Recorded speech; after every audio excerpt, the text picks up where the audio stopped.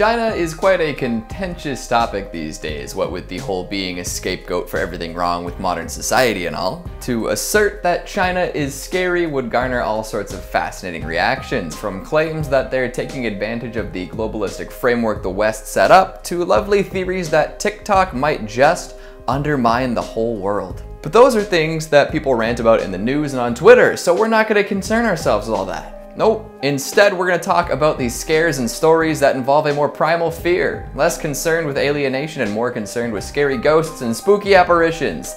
That's right, we're going to discuss some Chinese urban legends. Hello horror heads and welcome back to the scariest channel on YouTube, Top 5 Scary Videos. I'm your horror host, Keegan Hughes, and today we're to talk about the top 5 scary urban legends from China. Before we get going, make sure to give this video a big thumbs up and subscribe for more Oriental oscillations. Perfect, let's begin. Coming in at number 5, we've got the Lotus Pond. Across all cultures, bodies of water are considered scary in some way or another. Ships have sunk, people have drowned, bad weather has brewed, etc, etc. There's a certain mysticism to water, and we as human beings are fascinated by it. Of course, water on its own can't be scary. We've got to add something else to the mix. How about water plus adultery plus murder? Everyone's gotta be afraid of at least one of those things. All classic themes. So here is the tale of the Lotus Pond. One day, a young woman was waiting for her boyfriend by a lotus pond. As she waited and waited, she got more impatient. He was making her wait, the bastard. After a while, she decided to look around and see if he had maybe been waiting for her at the wrong spot. During her search, she discovered something quite awful. Her lover was away loving someone else. As one might imagine, she did not take this news well.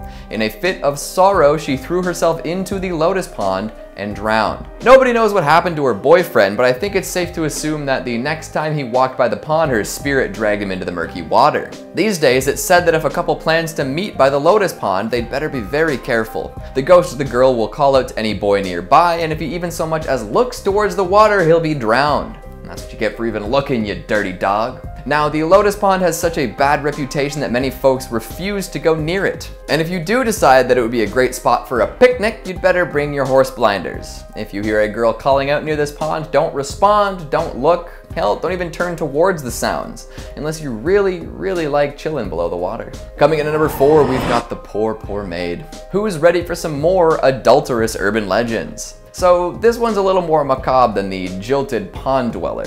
This story comes from one of the preeminent Chinese supernatural writers, Gan Bao. Apparently his father was a bit of a womanizer and had maintained a long-running affair with one of the family's maids. This didn't sit well with Gan's mother, who begrudgingly allowed it to happen for years. However, when the father died, she decided to take revenge. The family had a tomb made for Bao's dad, meant to eventually house the mother as well, but when old Daddy-O was buried, the mother also had the maid buried with him, alive. That's some hardcore revenge right there, don't you think? For years, the maid remained underground in the tomb, unbeknownst to anyone other than the mother. Then, 10 years after the death of the father, the mother joined him in the afterlife. Gan Bao had the tomb opened up so they could place her body there as well and came across an unpleasant surprise. Firstly, he never knew that his mother had the maid buried alive, so there's that little shock to start us off. But amazingly, she was still alive. Emaciated and weak for sure, but alive nonetheless. She was nursed back to relative health and questioned about her survival tactics. Had she been crawling out for sustenance and then returning to the tomb out of some self-flagellating guilt?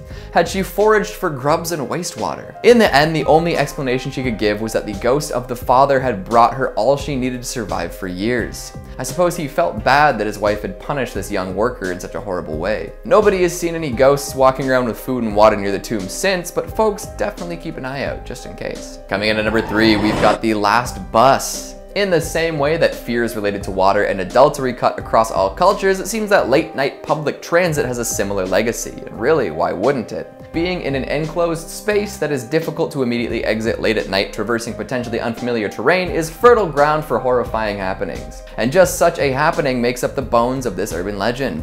In the mid-90s, a bus was heading to Beijing's Fragrant Hills. As it trucked along, two men attempted to flag it down. This was odd, considering that they were not at a bus stop, but the driver was feeling generous that day. Turns out there were three men, two of which wore traditional ancient robes and one more who was being held up by the other two. As the bus rolled along, it slowly emptied until there were only two passengers left, not counting the three latecomers. A young man and an old woman both sat there looking at these pale passengers. Suddenly, the old woman accused the young man of stealing her wallet and demanded that the bus driver let them off so they could take this matter to the police. When they got off, the man was furious. Not only had she falsely accused him of committing a crime, she had also had them get off in the middle of nowhere. Not even a police station was nearby. However, she had a good reason to cry wolf she'd noticed something nobody else had. The three men had no legs. They'd been floating at the height of standing men and therefore must have been ghosts. Who knows what might have happened if they'd stayed on that late night bus with the three phantoms.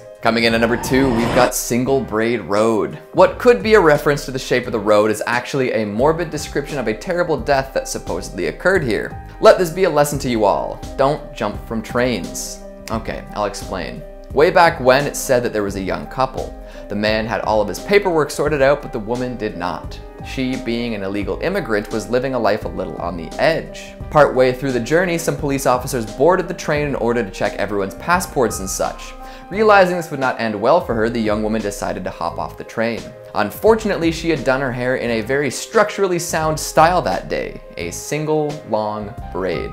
When she jumped out, her hair got caught in the window, ripping her scalp from her head and taking her face along with it. After having most of the skin on her head removed, she crawled her way to Single Braid Road and died there. Gruesome, right? Well, the story doesn't end there. Apparently, if you head down Single Braid Road, you might come across a young woman with a long braid. Only men can see her, supposedly. If you approach her, she'll turn towards you and reveal that she lacks any facial features. I'll leave you to imagine what might happen next. And finally, at number one, we've got the Suicide Shopping Center. Look, I get it. Sometimes malls make me want to hop over the guardrail and into the fountain below. We've all been there. However, so many self-inflicted deaths have occurred at this shopping center, folks are starting to get suspicious. Since it opened in 2004, over a dozen folks have committed suicide outside of Liwan Plaza. Some say there's a mysterious presence that might give the unfortunate souls a little push. These claims are backed up by a variety of strange discoveries that occurred during the building of said plaza. See, while they were developing the land, eight empty coffins were discovered buried below. They did their best to work around this seemingly cursed discovery, first by constructing the building to appear octagonal and then by contacting a Taoist priest. When the holy man arrived, he let the others know that the coffins were meant to prevent evil from spreading in that area. The thing is, the coffins can't do that job if they're removed in the process of building a shopping center. Uh-oh. Seems that these strange noises and unfortunate deaths tended to drive customers away. It's too bad, isn't it? My goodness, what do you think? Is there any truth to these tales, or are they simply overblown misunderstandings? Have you heard any of these before? What Chinese urban legend haunts you the most? Make sure you let me know down in the comments. Speaking of comments, let's take a look at some of your more incidental ones from the top 5 scary space horror movies. Marcus Aurelius says, Event Horizon needs the cut footage restored. Good movie to begin with, I'd love to see more of the story fleshed out. Pardon the pun. No need to apologize for your puns here, friend. Otherwise, I totally agree with your statement.